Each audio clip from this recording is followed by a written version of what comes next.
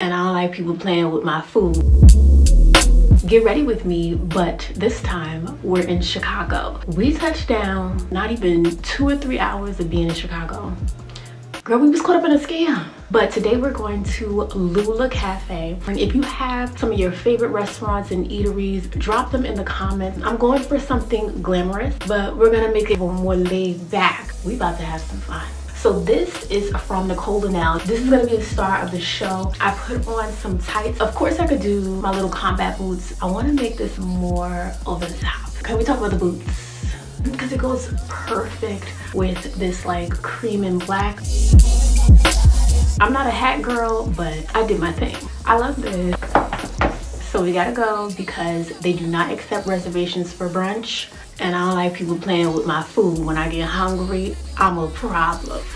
To be honest with you, I'm probably gonna put the combat boots on. Bye y'all.